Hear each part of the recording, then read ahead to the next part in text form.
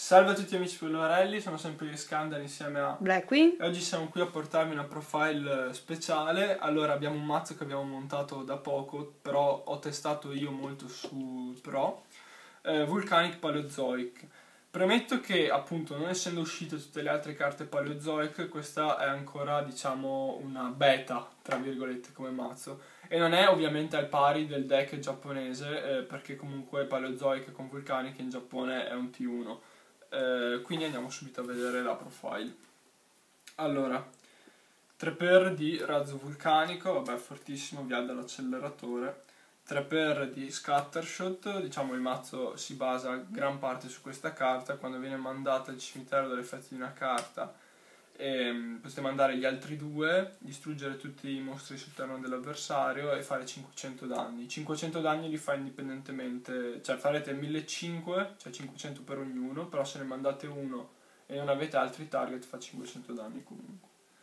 E triplo guscio vulcanico, principalmente serve per pescare con uh, l'acceleratore, se ne avete uno al cimitero pagate 500 e ve ne dato uno dal deck. E infine soltanto doppia guardia. Quando viene evocata scegliete fino a 4, eh, scegliete esattamente 4 mostri piro e li rimischiate. E pescate due carte, una carta veramente forte. Eh, magia, doppia duality, non facciamo quasi mai special in questo mazzo, anche se abbiamo comunque un extra. Eh, la duality aggiusta molto le mani, cioè le, le prime mani, le partenze e anche vista mid game comunque non è tanto pesante. Doppia uh, Magical Planter. Magical Planter, ci abbiamo in francese che si chiama Pot, però vabbè. Giocando tante trappole continue è veramente forte, poi comunque è un peschino, niente da dire. Eh, tre no, perché tre sarebbero veramente troppo pesanti, perché a volte può capitare di pescarne due e se le pescate di primo sono inutili perché non potete attivare trappole, le potete attivare solo dopo che le avete posizionate, quindi a 2 ci sta. E Monarch Casto Goblin, giusto per giocare con una carta in meno. Queste erano le magie. Trappole, vabbè ovviamente l'acceleratore, niente di che, scartate un uh, Vulcanic, pescate uno e quando è il cimitero lo potete bandire per uh, appunto uh, mandare dal vostro deck un Vulcanic al cimitero, quindi Scattershot. Eh, perché dico che non è forte come quello giapponese? Perché in Giappone c'è un paleozoico che manda dal deck le trappole al cimitero, trapp- e quindi praticamente eh, quella carta lì è uguale a fare scattershot. Reparto paleozoic, doppia canadia qui. Eh, allora, questo secondo me è più scarso perché semplicemente copre eh, un mostro dell'avversario.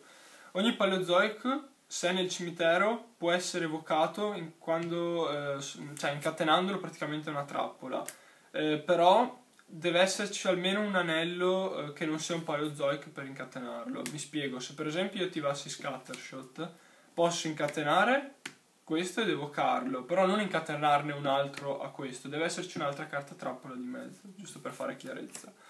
Sono tutti 1200 attacco 0 def, non occupano la zona Trap. trappola sono proprio mostri normali.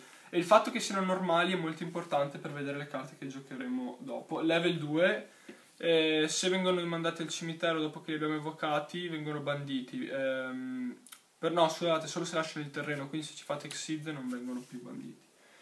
Uh, triplo Lenoid. Questo è, eh, secondo me, il più forte eh, che è uscito finora, che appunto spacca una magia trappola, praticamente è come un tornado di polvere uh, triplo lucigena, uh, di mezzo all'attacco e alla def di un mostro, uh, di un mostro solito dell'avversario, e non c'è replay di battaglia sul, sul effetto. Doppio, eh, triplo picaia, questo è diciamo il peschino del mazzo, lo attivate, scartate un uh, paleozoic e pescate due, quindi molto forte. E questi sono i paleozoic che giochiamo. Poi giochiamo doppio lo swan turn, doppio sbaglio. Allora, Può sembrare che sbaglio eh, sia un po' pesante in questo mazzo, visto che comunque c'è Razzo che ha dall'acceleratore, ma vi assicuro di no, perché la maggior parte delle volte che noi giochiamo Razzo lo giochiamo di primo turno oppure abbiamo già l'acceleratore in mano. Detto questo... Poi eh, col fatto di pescare... Sì, noi peschiamo tantissimo con questo mazzo, alla fine cioè soltanto Pod of Duality e Razzo fanno addano, tra virgolette. Però, so, eh, sì, però sono tutte carte che comunque eh, utilizziamo già da subito se le abbiamo in mano e questa qua appunto va attivata soltanto quando l'avversario diciamo necessita di andare per le combo. Lo Swan Turn è fortissima perché eh, noi evochiamo normalmente la maggior parte dei mostri, quei pochi che evochiamo specialmente sono normali, quindi non subiscono l'effetto di lo Swan Turn. È una carta che possiamo togliere come sbaglio con Plantern e quindi queste, diciamo, questa combinazione è veramente forte. Poi, Spaventa Passeri di Ferraglia. Allora, questa è una touch e è veramente una carta stronza perché praticamente eh, quando l'avversario attacca voi l'attivate, ok? Negate l'attacco, in catena alla sua attivazione potete evocare praticamente i Paleozoic e più si risetta, quindi comunque la potete, cioè diciamo non è una risorsa che va sciamando. Doppia forza riflessa quella che rimbalza in mano, secondo me è la migliore per ora, essendo che quella che rimischia nel deck eh, necessita che avete campo scoperto. Um, bottomless e um, Floodgate. Uh, Floodgate. Uh, I buchi più forti a parere mio, um, questo è assurdo perché settare mostri che non si possono più scoprire è tanta roba.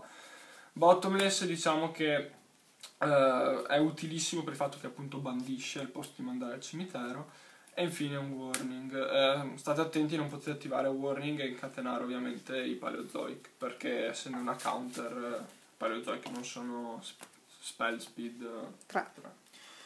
Extra deck, uh, doppio Anomark Arcaide qui. Uh, non lo tiro quasi mai perché di fatto lui va fatto con 3 eh, mostri level 2, no 3 level 2 qualsiasi. 3 Paleozoic. Eh, sì, no, Scattershot è level 2. Oh eh, a volte succede che lo sia perché ci si fa xit. Comunque Principalmente il suo effetto più forte è quello che eh, in qualsiasi turno staccate uno, se, una, se, avete trappole come materiali spaccate uno, è abbastanza forte, però l'altro Xyz che deve uscire è ancora più forte, vi fa attivare carte trappole dalla mano, i paleozoici dalla mano. Uh, Centaurea, secondo me è il rank 2 più forte per ora, rimbalza, non può essere in battaglia, tanta roba eh, dal gusto fenice perché giochiamo sia Emerald che eh, Castle che sono vento, quindi con questo possiamo farli attaccare due volte, perché insomma fenice che attacca due volte è un 1500. Uh, Socutebos che semplicemente ha un rank 2, eh, come Gachi Gachi, cioè questi due dovrebbero essere delle Tritod o comunque l'Oxid, eh, no, l'Oxid che uscirà dai Paleozoici. Araldino non è male, a volte può essere utile. Doppio del gusto Emerald, fortissimo perché ovviamente è un altro modo oltre a guardia per riciclarci gli scattershot è tanta roba uh, Rafflesia Rafflesia perché c'è questa carta comunque è immune alle trappole quindi anche se avete lo swanturno. lo swanturno non è un problema. E come avete visto abbiamo due buchi e lì è abbastanza forte. Uh, Castle Cowboy per chiudere. Uh, Rebellion perché diventa un bittone. 52 perché anche se c'è lo swan turno voi lo tirate anche in difesa o comunque in attacco diciamo a un 3000 di def il turno dopo potete avere un 3000 che magari vi tira giù dei bittoni che normalmente non riuscite a tirare giù. E infine un eh, F0 perché è abbastanza facile avere due Xyz con uh, appunto i Palozoic Palozoic e questa carta è molto utile Bene, spero che il deck, la profile vi sia piaciuta, ovviamente appena usciranno le prossime carte Paleozoic lo aggiorneremo. Eh, diciamo che è un buon antimeta e sono felice di aver portato sul canale questa profile. Un saluto da Iskander. E Black. Ciao a tutti.